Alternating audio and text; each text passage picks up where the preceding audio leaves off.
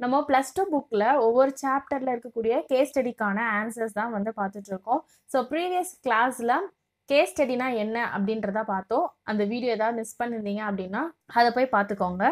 இன்னைக்கு நம்மளுடைய கிளாஸில் சாப்டர் ஃபோரில் இருக்கக்கூடிய கேஸ் ஸ்டடிக்கான ஆன்சர் தான் வந்து நம்ம பார்க்க போகிறோம் ஸோ சாப்டர் ஃபோர் வந்து என்னன்னு பார்த்தீங்கன்னா goodwill in partnership accounts so என்ன கேஸ் ஸ்டடி கொடுத்துருக்காங்க அப்படின்னா Priya Praveen and Pooja started a partnership business of buying and selling of home appliances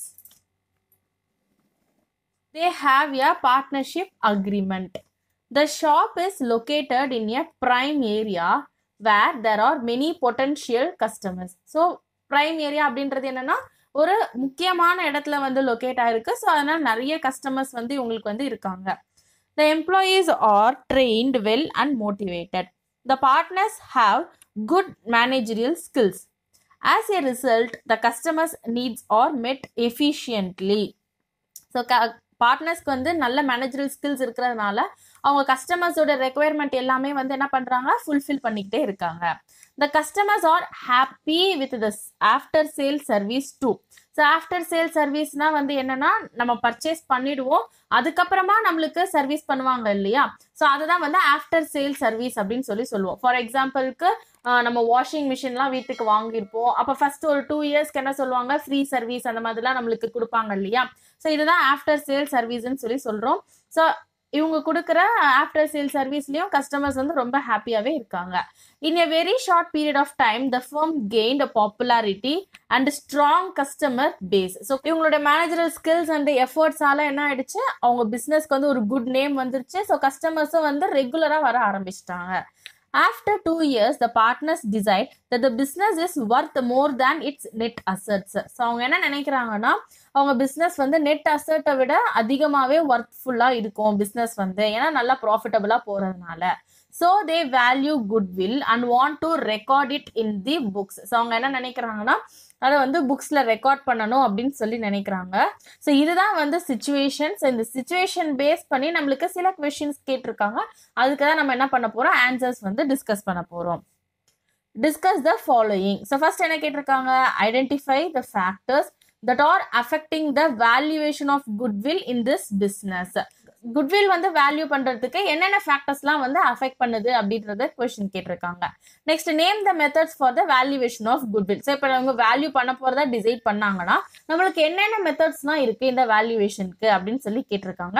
next third question பார்த்தீங்கன்னா do you agree with the partners decision of recording the goodwill in the books if you do not agree explain the reasons with reference to the accounting standard so first ஒன்க்கு நம்ம answer பார்ப்போம். First என்ன கேட்டிருக்காங்க? Factors affecting the valuation of goodwill in this business அப்படின்னு கேட்டிருக்காங்க இல்லையா? So இதுக்கு நம்மளுக்கு புக்லேயே வந்து ஆன்சர் இருக்கு. ஸோ ஃபர்ஸ்ட் வந்து என்ன கொடுத்துருக்காங்க? Profitability of the business so நம்ம வந்து குட்வில் வந்து வேல்யூ பண்ணும்போது நம்மளுக்கு என்னென்ன ஃபேக்டர்ஸ்லாம் அஃபெக்ட் பண்ணும் அப்படின்னு சொல்லி பார்த்தோம்னா அதில் ஃபர்ஸ்ட் ஒன் வந்து ப்ராஃபிட்டபிலிட்டி ஸோ எவ்வளோக்கு எவ்வளோ ப்ராஃபிட்டாக வந்து நம்ம பிஸ்னஸ் வந்து ரன் ஆயிட்டு இருக்கு அப்படின்றது ரொம்பவே முக்கியம். நம்ம பிஸ்னஸ் வந்து ரொம்ப ப்ராஃபிட்டபிளாக போச்சுன்னா அப்போ நம்மளோட குட்விலோட வேல்யூவும் வந்து என்ன இருக்கும்? நல்லதாக இருக்கும். ஸோ ப்ராஃபிட் வந்து நம்மளுக்கு கம்மியாக இருக்கிற பட்சத்தில் நம்மளோட குட்வில் வேல்யூவேஷன்லேயே வந்து என்ன ஆகும்னா அது வந்து அஃபெக்ட் பண்ணும் அப்படின்னு சொல்லி சொல்கிறான் இது ஒரு ஃபேக்டர் நெக்ஸ்ட் ஃபேக்டர் பார்த்தீங்கன்னா favourable location of the business enterprise so business வந்து எந்த இடத்துல லொக்கேட் ஆகியிருக்கு அந்த பிளேஸுமே வந்து ரொம்ப ரொம்ப இம்பார்ட்டன்ட் ஸோ இப்போ வந்து இந்த கொஸ்டின்ல என்ன கொடுத்துருக்காங்க? It is located in a prime area அதாவது முக்கியமான இடத்துல இருக்கு அப்படின்னு சொல்லி சொல்லியிருக்காங்க இல்லையா? ஸோ இப்போ முக்கியமான இடத்துல அப்படின்னும் போது கஸ்டமர்ஸ் வந்து ஈஸியாக ரீச் ஆகக்கூடிய இடத்துல இருக்கு அப்படின்ற மாதிரி. ஸோ அப்போ ஆட்டோமேட்டிக்காக நம்மளோட பிஸ்னஸ் வந்து என்ன ஆகும்? சீக்கிரமாக வந்து க்ரோ ஆகும். இப்போ ஃபார் எக்ஸாம்பிளுக்கு நம்ம மெயின் ரோட்ல ஒரு பிஸ்னஸ் ஸ்டார்ட் பண்ணுறதுக்கும் இல்லை ஸ்ட்ரீட்டுக்குள்ள நம்ம வந்து ஒரு பிஸ்னஸ் ஸ்டார்ட் பண்ணுறதுக்கும் வேரியேஷன்ஸ் இருக்கு இல்லையா? ஸோ அப்போ பஜார் அப்படின்னும் போது எல்லாருக்கும் ஈஸியாக கஸ்டமர்ஸ் வந்து ரீச் ஆகிறதுக்கு ஈஸியாக இருக்கும். ஸோ அதுதான் அந்த லொகேஷனுடைய வேரியேஷன் ஸோ அதுவுமே வந்து நம்மளோட குட்வில் வந்து வேல்யூவேஷனுக்கு அஃபெக்ட் பண்ணும். நெக்ஸ்ட் வந்து good quality of goods or services offered so நம்ம பிஸ்னஸ்ல நம்ம எந்த அளவுக்கு குவாலிட்டியான குட்ஸும் சர்வீஸா இருந்துச்சுன்னா எந்த அளவுக்கு குவாலிட்டி சர்வீஸ் நம்ம ப்ரொவைட் பண்றோம் அப்படின்றது ரொம்ப ரொம்ப இம்பார்ட்டன்ட் நம்ம நம்மளோட பிஸ்னஸ்ல வந்து குட்ஸோ சர்வீஸோ குவாலிட்டியா இருந்தாதான் கஸ்டமர்ஸ் வந்து என்ன பண்ணுவாங்க? இன்னும் நாலு பேருக்கு ரெஃபர் பண்ணுவாங்க. அட் த சேம் டைம் அவங்க திரும்ப திரும்ப நம்ம கடைக்கே வரணும் அப்படின்னு சொல்லி நினைப்பாங்க. Then tenure of the business enterprise so நம்ம எவ்வளோ வருஷமா அந்த பிஸ்னஸ் ரன் பண்ணிக்கிட்டு இருக்கோம்?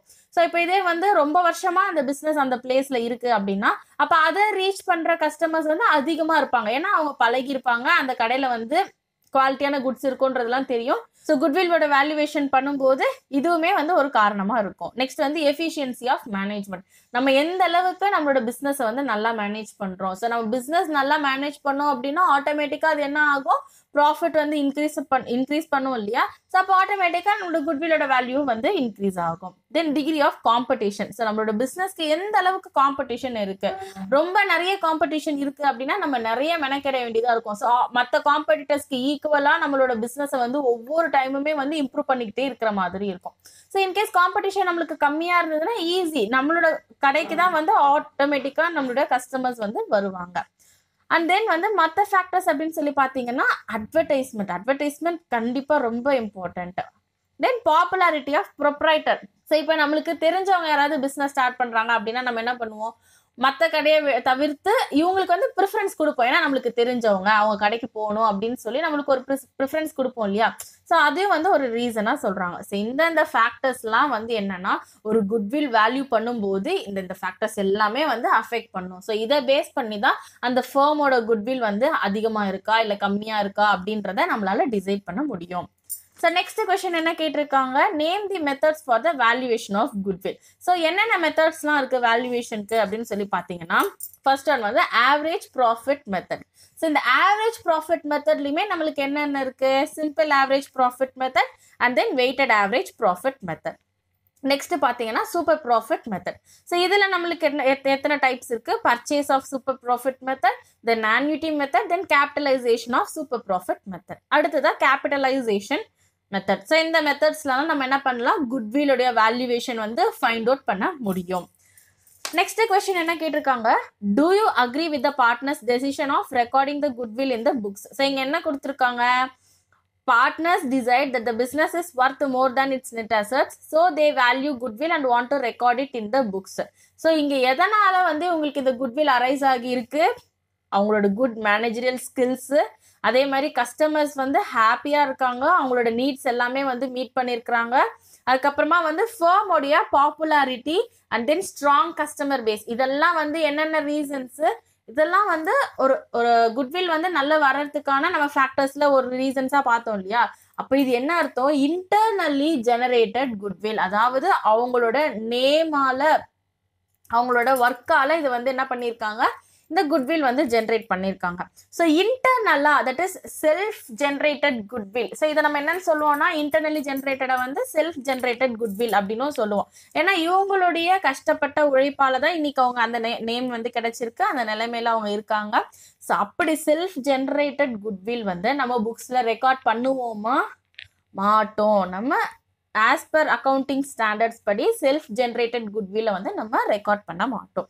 அப்போ வந்து we do not agree with the partners decision of recording the goodwill in the books அப்போ if you do not agree give reasons கேட்டிருக்காங்களே அப்போ நம்ம என்ன ரீசன் எழுதணும் அப்படின்னு சொல்லி பார்த்தீங்கன்னா self generated goodwill is based on features of the business such as favourable location loyal customers extra so அதான் நான் சொன்னேன் இல்லையா? இதெல்லாம் வந்து நம்மளுக்கு சப்போர்ட் பண்ணுது. இதெல்லாம் சப்போர்ட் பண்ணனால தான் நம்மளுக்கு குட்வில் வந்து என்ன ஆயிருக்கு? ஜென்ரேட் ஆயிருக்கு. இது நம்ம இன்னொன்று நம்மளுடைய உழைப்பு. அதான் இங்கே என்ன என்ன கொடுத்துருக்காங்க? செல்ஃப் ஜென்ரேட்டட் அப்படின்னு சொல்லியிருக்காங்க இல்லையா?